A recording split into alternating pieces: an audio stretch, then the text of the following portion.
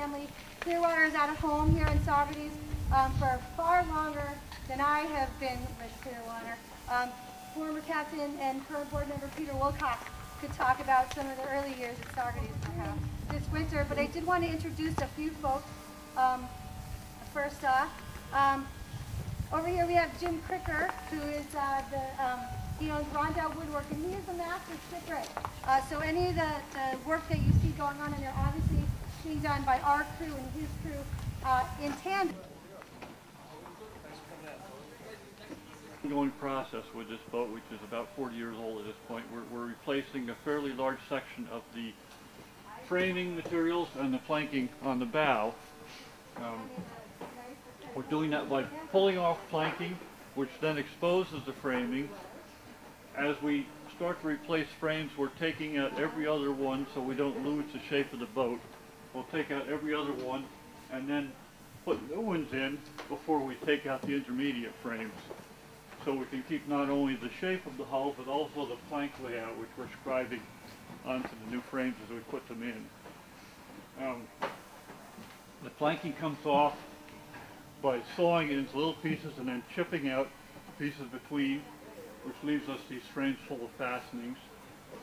The framing comes out essentially the same way. This boat is so heavily fastened that you can't take out large chunks at a time. You have to take it out in very small pieces, the most efficient way to do it. So we'll cut the frame into sections and then split those. Wha- how we were going to do this job, and it is a big, big job. You have to have the boat out of the water for a significant amount of time, and there are very few ways to do that when you are 70 tons. So, um, the options before us were New York City, Staten Island, Long Island Sound, Gloucester, Massachusetts, Rockland, Maine, all places that are lovely places, but they're not home. And um, because of the funding we were able to get, because of the support we were able to get, because we, we have in Ulster County the skill, uh, and I'd like to thank Kevin Dermond, who isn't here, um, but he was the, um, the basically the manager, uh, general contractor, basically put together this idea of let's put it on the barge and keep it in Kingston or keep it in Saugerties. Um, I'd like to thank him. Many tens of thousands of dollars, and it's all being spent in the Hudson Valley. And that was really important to us, and we're really glad to keep it all local. Smith Hardware, you know, they know our crew by name. Um, they're what Clearwater's up to. Well, you can guarantee that everybody that's here is going to be involved, and Maurice Hinchey is going to be leading. I just want to express my appreciation to everybody who's been associated with the Clearwater and continues to be associated with it, and who has done so much for this vessel. And in doing so much for this vessel, they have done and continue to do so much more for this Hudson River and the Hudson River Valley. We know what Pete Seeger did, how he came up with the idea that we needed to draw attention to the Hudson River and the need to clean it up back in the 1960s and early 70s, and how he initiated the, the, the development of this vessel. And I want to thank you for everything that you do, all the, all the, and, and so devoted to it, devoted to continuing it, maintaining it, and, and continuing its work. So much has been done. This Hudson River Valley now is exemplary. It's so much cleaner. I mean, it's far from perfect. We've got a lot of PCBs up, up north that uh, are still a major problem. but nevertheless, it is, it is still so much better than it, than it was in the past. And this Clearwater was in many ways the initiator of the idea to clean up the Hudson River, to draw attention to it. I can remember the first time that uh, I sailed on this boat, which was back in, I think it was 1974 or, or 73 maybe, something like that. And it was a wonderful experience. I have got a great uh, photograph that somebody took. And I was looking pretty good in those days. pulling on, pulling on this rope, you know, and, and, and working on this vessel as it was sailing up and down the river at that particular time. It was a great experience. And as a, a former member of the United States Navy who sailed on a different vessel out in the Pacific, this was a great, this was a great thing. So I, I just want to express my gratitude and appreciation to all of you for all of the work that you do to continue to maintain this vessel, continue to keep it strong, continue to keep it exemplary, and continue to keep it out on the river. And, I, and as a person who loves Saugerties, I uh, very much appreciate the fact that it's been here every winter and all the work that has been done here to make it increasingly effective. So my devotion is to you. I'm deeply devoted to you and all the work that you do. I want to continue to help you in every way that I can, and I want to express to you my deep gratitude and appreciation for all that you've done.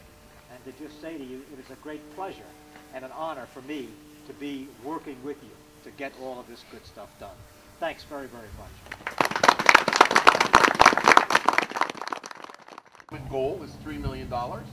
In the first year, we have raised more than 500,000 of that. So not insignificant. We're a sixth of the way into it in our first year. These logs, we paid $45,000 to buy these 15 logs delivered to the sawmill, our sawmill. We cut them up for free and got them over here.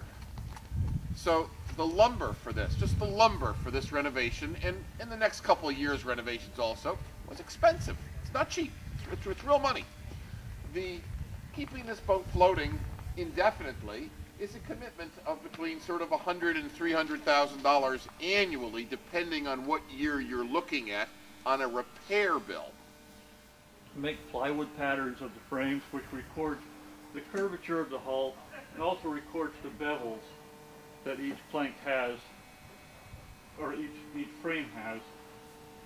Um, and we take the patterns, lay them on our new timbers, mark them out, mark the bevels on them, take them over to the saw, cut out the inside and the outside surfaces of the frames, duplicating the bevels, bring them back into the boat and fit them to make sure we have good fits down at the bottom where they meet the keel and up at the top where they meet the, the ends of the old frames that still remain in the boat.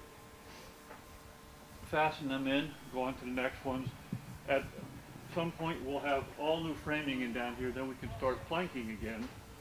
And that involves planing down our plank material to the right thickness and then taking plywood patterns again, laying them in the area that the plank goes, marking out the shape of each plank, cutting it, bringing it back in here, fitting it carefully, fastening it in place, going on to the next one. So it's a, a, a many-step process. Waters here in Saugerties because there are very few places on the Hudson River that are in the lee of the ice. And basically what that means is that you need to find a tributary that you can get out of the main ice flow of the Hudson River. And in Beacon, which is kind of our main place during the summertime, uh, there's a harbor, but the harbor is fully exposed to the ice flow as it comes down the river, which would crush the sides of the boat if we left it there during the winter. In being here in Saugerties, we are A, out of the ice flow, even though the ice is around us, and we can effectively use a bubbler to be able to keep the ice from crushing the boat. this winter was to stay local and to keep Clearwater home. And so to have a press conference this morning with our local congressman, with our local town board members, with our local press, um, it just really brought it all home. Uh, it, it's a great place to be. Ulster County, Saugerties, Kingston, Northern Dutchess County, it's the Hudson Valley. It's one of the best places in the world. Uh, and, and Clearwater wouldn't exist without the support of, uh, of local um, families and groups and uh, even politicians and town board members and and local business people who are who are generous with us and and and it's a just a perfect example of how it all fits together.